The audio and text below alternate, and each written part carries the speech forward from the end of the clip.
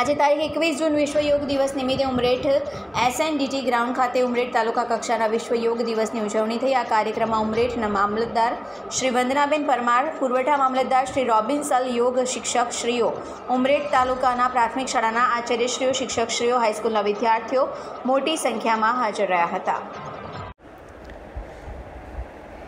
આજરોજ આણંદ જિલ્લામાં રાસનોલ ગામે સતત પંદર વર્ષથી સેવા આપતી સંસ્થા એટલે સંતરામ ચેરિટેબલ ટ્રસ્ટ દ્વારા ચાલતા સંતરામ સીવણ ક્લાસીસ. હવે આપણા ગામમાં વહેલા તે પહેલાના ધોરણે શરૂ થવા જઈ રહ્યા છે. અનુભવી ટ્રેનર દ્વારા તાલીમ આપવામાં આવશે. તાલીમના સૌથી વધુ કલાકો અને સો ટકા પ્રેક્ટિકલ તથા થિયરી અને સંસ્થાનું સર્ટિફિકેટ પણ એનાયત કરવામાં આવશે.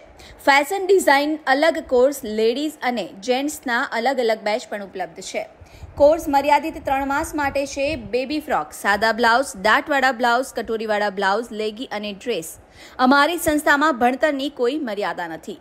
અભણ હશે તો પણ ચાલશે. વિકલાંગ, શ્રવણમંદ વિધવાઓને મફત તાલીમ આપવામાં આવે છે.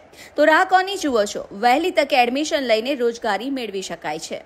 સંસ્થાના પ્રમુખ શ્રી ગણપતસિંહ પરમાર તથા મંત્રી શ્રી સનાભાઈ પરમાર, ખજાનચી મીનાબેન પરમાર થકી સંસ્થાને ટકાવી રાખનાર સમયને માન આપી આજે સાત હજાર ભાઈ બહેનોને રોજગારી આપી તેમજ સંસ્થા મારફતે સિલાઈ મશીનની પણ વ્યવસ્થા કરી સિલાઈ મશીન પણ આપવામાં આવ્યા છે.